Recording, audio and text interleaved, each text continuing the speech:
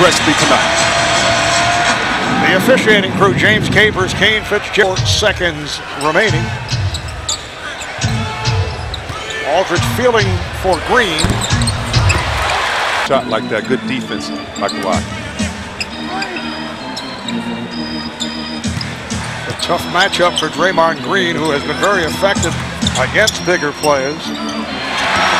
Deflected away, but recovered, deflected to the back corner. Lance. Aldridge on, working on Green. Draymond. Aldridge feeling for Green. Aldridge spinning his way. Golden State is led by as many as 23. It's a 13-point edge right here. Aldridge spinning his way. If they win two of three, they equal the record. Time has run out. That'll do it.